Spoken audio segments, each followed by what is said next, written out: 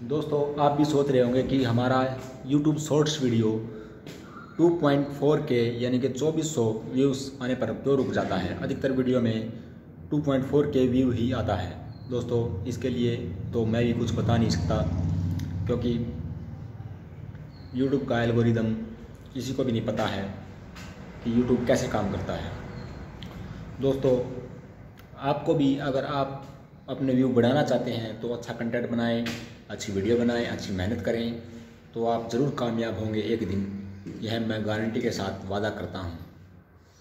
दोस्तों, अगर आपका अच्छा कंटेंट होगा तो शॉर्ट्स पे भी 2.4 की जगह आपका 1 मिलियन व्यू हो सकता है। अच्छा कंटेंट और अच्छी मेहनत ही रंग ला सकती है दोस्तों। दोस्तों, इसमें हम भी कुछ नहीं कर सकते, क्योंकि कई बार मेरा वीडियो भी 2.4 के व्यू आके रुक जाता है। दोस्तों अच्छी मेहनत करो और वीडियो बनाओ।